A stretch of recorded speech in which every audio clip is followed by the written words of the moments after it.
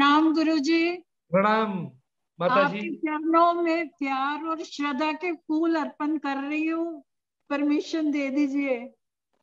क्या परमिशन चाहिए? हमें मुझसे मुझसे कोई भी परमिशन की बोलने के ज़रूरत नहीं। लिए बोलने हाँ? के लिए हाँ बोलने प्लीज़ के प्लीज़ लिए। प्लीज़ बोलिए प्लीज़ बोलिए।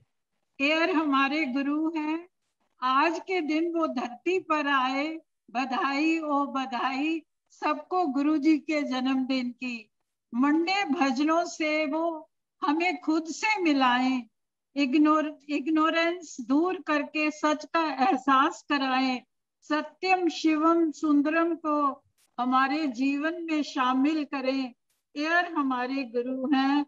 आज के दिन वो धरती पर आए, बधाई हो बधाई हो सबको गुरु जी के जन्मदिन की। आज केयर जूम से हमारी जिज्ञासाओं को मिटाएँ हमारे प्रश्नों के उत्तर सुझाएँ माइंड को कंट्रोल करने के तरीके बताएँ अटैचमेंट से डिटैच होकर जीना सिखाएँ इंटेलिजेंस से डिस्क्रिमिनेट करके फैसला करना सिखाएँ सिंपल कंटेंटेड जीवन जीने का रास्ता दिखाएँ ग्रीड और इनफ में फ़र्क करना समझाएँ। साइलेंस और मेडिटेशन से इनवर्ड जाकर प्रभु से मिलना सिखाएँ। नेति नेति तत्वमसी हम कार्यालाइजेशन कराएँ। एयर हमारे गुरु हैं। आज के दिन वो धरती पर आए। बधाई हो, बधाई। सबको गुरु जी के जन्मदिन की बधाई। हम ऋणी हैं हमारे गुरु जी के। आज के दिन वो धरती पर आए। उनके सफ़ेद कप, वस्त्र शांति और प्रेम का संदेश लाएँ। हमारा हाथ पकड़कर एनलाइटनमेंट के लिए तलाश की ओर ले जाएँ। धन्यवादी हैं हम उनके जिन्होंने शिवोहम के रंग में हमको रंग दिया। आज के दिन वो धरती पर आए बधाई हो बधाई।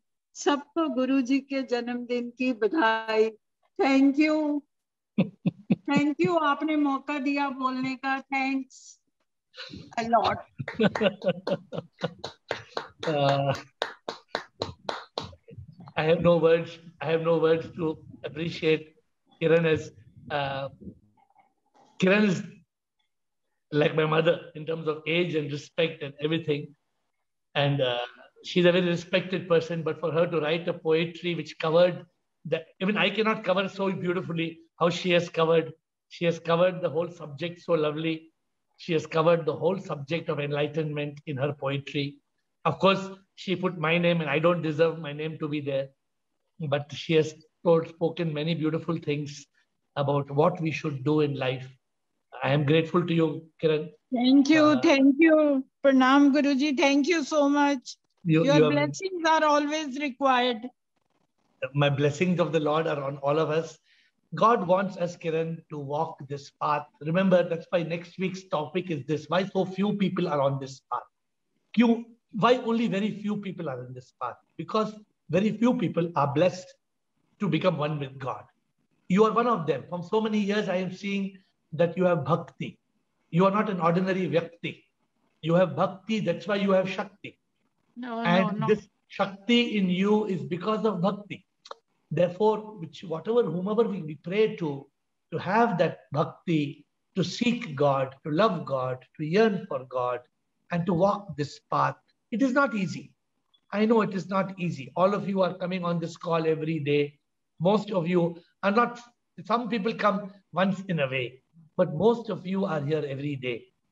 And you are here every day because you know that this is the way to reach the goal of realizing you are the divine soul.